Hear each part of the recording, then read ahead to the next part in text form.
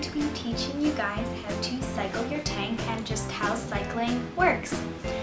So here I drew a little diagram for how tank cycling works and I'm going to explain it to you guys. Here we have our axolotl, which will produce poop and that's the waste. So, when the waste starts to rot and decompose, it turns into ammonia and nitrate. I mean nitrite. So, ammonia and nitrite are lethal to your axolotl. So you're going to want to get rid of these as soon as possible. But you can't really with a siphon or a turkey baster. So that's why you're going to need your beneficial bacteria, which will eat the ammonia and the nitrite. So for this, you're going to want to remove your axolotl from the tank, just so it doesn't get affected by the ammonia and nitrite. then you are going to want to use something else other than its waste to produce the ammonia and nitrite. You should always cycle your tank before you end up getting your aquatic pet.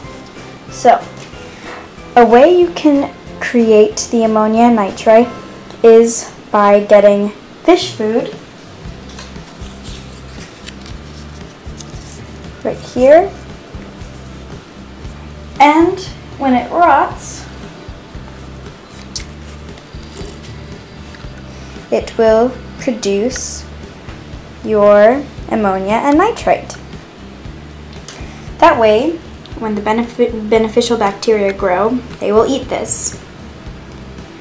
The thing about living organisms is that they all have to, you know, defecate, which means they all have to go to the bathroom. So the beneficial bacteria, in this case, will produce nitrate. Remember, Nitrite and nitrate are two very, very different things.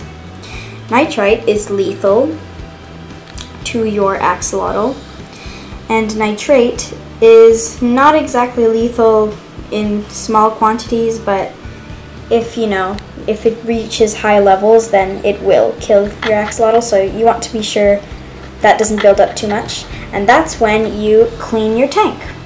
So all you have to do really is just change out around either half or a quarter of the water and then dechlorinate it with some dechlorinator right here. For example, I have Nutrafin.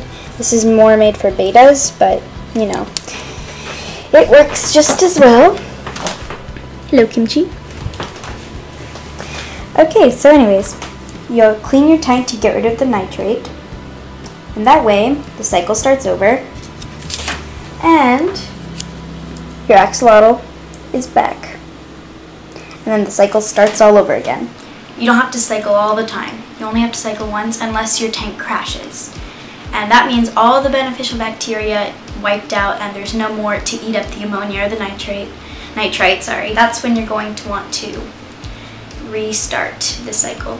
But make sure you always take out all life inside of the tank, ex excluding plants, um, before you cycle because the ammonia and the nitrite in there will kill them. So be careful. Another thing, so you're going to want to find a way to test the ammonia, nitrite, and nitrate levels in your tank. And for that, you will need a pH testing kit, which I do not have with me right now. But um, yeah, I'm going to link you to a video which teaches you how to do it. So just click right up here. Okay, this has been sufficiently awkward, so I'm going to see you guys later. Bye!